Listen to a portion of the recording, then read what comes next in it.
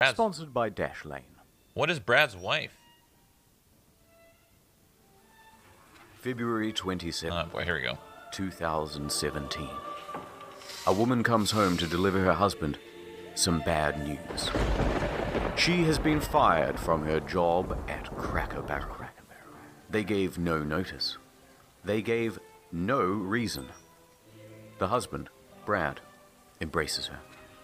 A tear rolls down her cheek. Brad's hands tighten into fists. Eleven years of service, he whispers under his breath. Nanette, fetch me the computer. To say I'm pissed off would be an understatement. After 11 years of service, those lowlifes at Cracker Barrel let my wife go? I would really like to know why. And those of you who know me these days know that I will find out. In the meantime, if any of you would also like to know, please go to their Facebook page and ask them. This old boy is storming.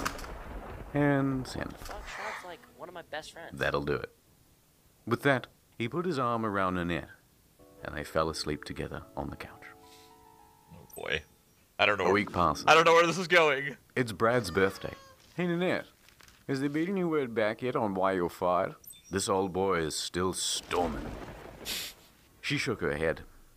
Outrageous. Nanette, fetch me the computer again. I'm going to make another Facebook post. Today is my birthday. Why did you fire my wife? Now we wait. Don't forget your cake. Brad squinted his eyes, made a wish, and blew. He put his arm around Annette, and again, they fell asleep together on the couch. No, I don't know where this is going. But that I night, love it. as they dreamed, something special happened. A miracle of sorts. People started joining in. People saw the post, then semi sarcastically also began demanding answers. then more joined in. Then more.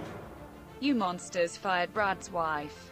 Justice for Brad's wife. Oh my 11 god. years. The power of the internet, Release dude. Brad's wife. Jesus Christ. The template of the joke The was people. simple and spreadable. Promoting desserts, are we? Brad's wife used to love desserts. New item on the menu. Brad's wife would have made it twice as good. Today we remember 9/11. Brad's wife used to love 9. It spread from their Facebook to their Twitter to their Instagram to all of their social media platforms. But this wasn't your usual raid by 4chan. This was something different.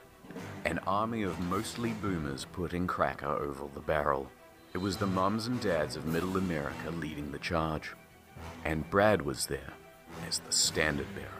He embraced the meme. Why did you fire my wife? he repeated. Please share, he demanded. Soon there was nothing that Cracker Barrel could post that wouldn't immediately be turned into a discussion about the plight of poor Nanette. As always, a petition is started and goes nowhere. And once that failed, the calls started rolling oh in. no. Hi, I have a quick question for you guys. Yeah. Why did you guys fire Brad's wife? So, uh, I guess what I'm asking is if you would just go ahead and hire her back, uh, and then we can just pretend like this whole thing didn't happen. And what's a good harassment campaign without a soundtrack?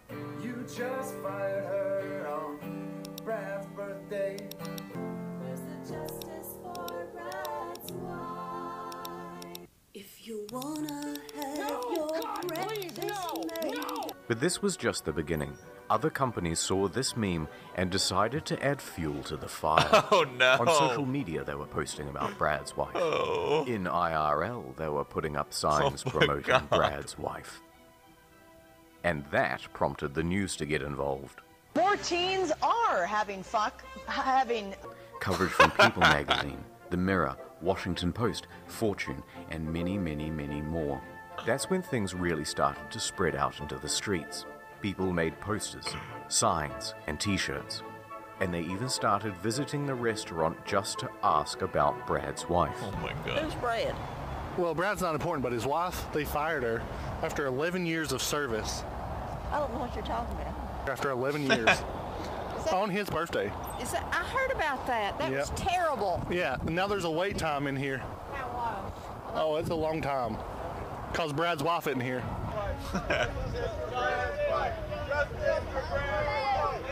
Brad could see that things were spiraling out of control. He called on the troops not to harass the local chain. The firing was a corporate decision. Good morning. I still have not heard from said company, but I would like everyone to remember that some very good people work for them. So if you want answers, please direct questions to the Home Office. They're the ones who fired my wife. Oh my god. But it did little to temper things down. You fired Brad's wife? You shall be on fire. What the hell? So, in all this time, Brad still hadn't heard back from the company, and we feared that we'd never get answers. But one smooth talker succeeded in getting a few details by pretending to be a manager from the corporate office. Mush mush. I got this email from my boss today stating something about um, Brad's wife. You know her personally? Yes, sir. She was my boss. And that's when she spilled the beans. I think it was she had she was kind of a softie, sir. Now, from here, we could have just called it a day. But here's the thing about boomer humor they don't know how to let a joke go. Once something is funny, it remains funny to them for years. and that doesn't spell good news for Cracker Barrel's social media. Oh no. So, that's what the future holds for Cracker Barrel. Years more of hashtag Brad's wife. Oh no. But what about for poor Nanette? Well, there's good news. It turns out that a lot of those offers by other businesses to hire Brad's wife weren't entirely sarcastic. 11 years of service? Come on in for an interview. Dozens and dozens of real offers started rolling oh, in. Oh my god. Suddenly, Brad's wife had her pick, and she could work pretty much anywhere she wanted. And that, roughly speaking, is where the story ends. You can still visit Cracker Barrel today, and the top comment will still be some dumb shit about firing Brad's wife. But that doesn't matter, because better than an answer, Brad got his wife a new job, and this old boy could finally rest. the storm had passed. Oh. Ad time. You go to log into your internet banking. Invalid password. I'm gonna go to Twitter real quick. Hold on.